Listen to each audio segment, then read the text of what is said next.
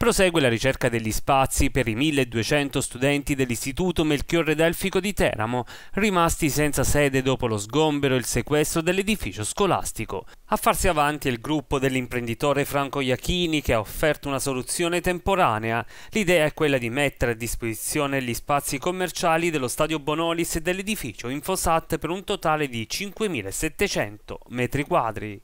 Abbiamo questi locali, finalmente si è conclusa la vicenda con il Comune di Teramo, torneranno a loro come sapete la gestione della parte sportiva, noi teniamo la gestione della parte commerciale, quindi visto che prima di partire con delle, con delle soluzioni con, diciamo, di affitto normale abbiamo pensato di dire quest'area è disponibile, si possono allocare delle strutture. Al, presso la parte commerciale ci sono circa 4.500 metri, 4.000-4.500 metri su tre livelli, eh, un 1.100 metri a piano terra a fianco Decathlon e poi gli altri distribuiti nei secondi due livelli.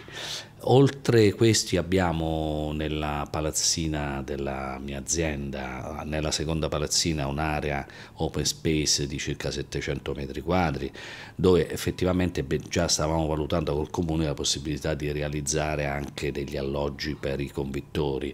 Un architetto sta predisponendo è comunque un'area già pronta, facilmente realizzabile anche in tempi abbastanza celeri con delle pareti attrezzate, amovibili, quindi fare sia delle camere che aree comuni, eh, cucina, tutto quello che serve. Iachini si è reso anche disponibile a offrire gli spazi applicando canoni ridotti per contribuire concretamente alla gestione dell'emergenza. Ma credo che sia una cosa dovuta, cioè non, piuttosto che stare lì a farli, eh, come dire, stare fermi, se ci sono e possono essere utili, perché no? Anche se sappiamo che potremmo sacrificarci per qualche anno affinché non si risolva quella situazione e quindi non poter avere il giusto, eh, il giusto margine di interesse sulle cose, però insomma, se si deve fare lo facciamo.